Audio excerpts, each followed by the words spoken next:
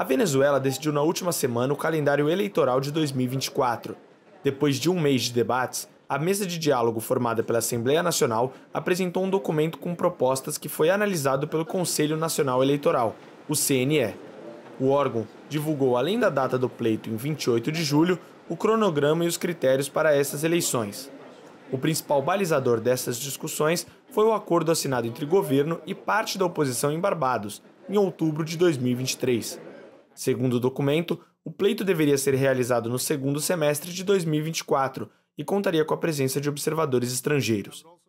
A oposição criticou a escolha da data por considerar que ela está muito próxima.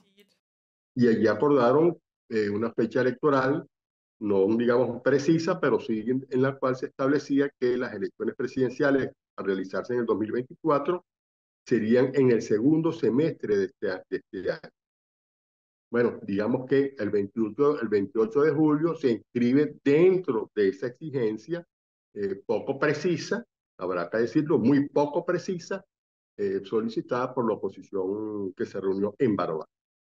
Por otro lado, el gobierno se reunió en Venezuela con cerca de 50 organizaciones políticas de oposición, donde discutieron sobre eh, eh, una suerte de calendario electoral. Presentó al Consejo Nacional Electoral una serie de fechas y una serie de recomendaciones. Bueno, con base, con base a Barbados, con base a las reuniones sostenidas con los partidos políticos de oposición venezolanos, en el marco de, de, de algunas de las solicitudes realizadas y en el marco del Acuerdo de Barbados.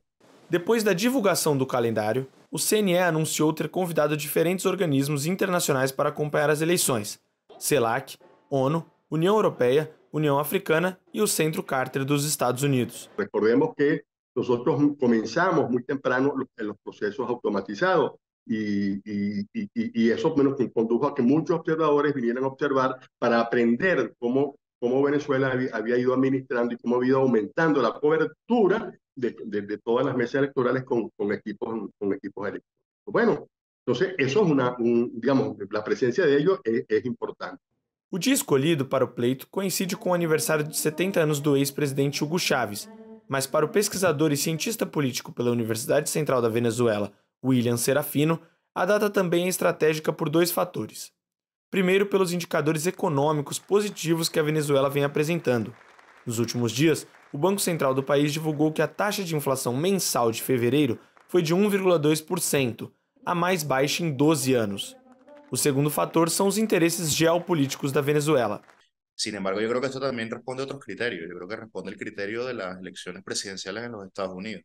Mm, no se sabe muy bien al final qué es lo que va a terminar pasando en Estados Unidos y evidentemente pienso yo que entre más lejos estén las elecciones venezolanas de las elecciones estadounidenses, el país tiene eh, mejor manera de prepararse, tiene más tiempo para prepararse en el caso de que Trump vuelva a la presidencia, que sabemos que podría ser um cenário complejo para a economia venezolana. A oposição tem Maria Corina Machado, até agora, o principal nome para a disputa. A ex-deputada, no entanto, foi sancionada pela Controladoria Geral da República, a CGR, com uma inabilitação para assumir cargos públicos por conta de inconsistências em sua prestação de contas enquanto esteve na Assembleia Nacional entre 2011 e 2014. A CGR confirmou em junho de 2023 que Machado está inabilitada por 15 anos. Em dezembro de 2023, Maria Corina recorreu da decisão, mas o Tribunal Supremo de Justiça confirmou a inabilitação da ex-deputada. Em resposta, ela disse que vai concorrer às eleições independente da decisão do TSJ.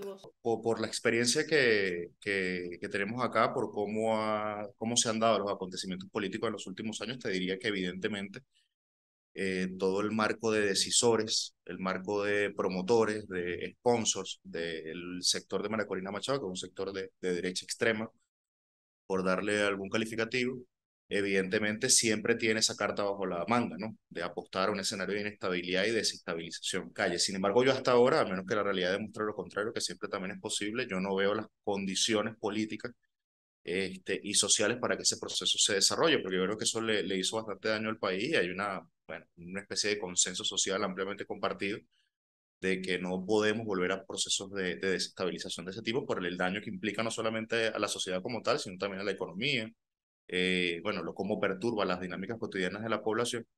Um dos questionamentos de parte da oposição é o tempo para a inscrição das candidaturas.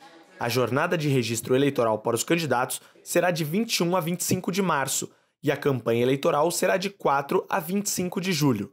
De acordo com o grupo, há pouco tempo para a escolha de um candidato único de oposição para o pleito. Sencillo, fue, sí, es corto, sí es corto, como todos los, como siempre ha sido corto los lapsos para postular. Se supone que para la fecha eh, eh del 28 de julio o para, para el segundo semestre ya todos los partidos estaban anunciados.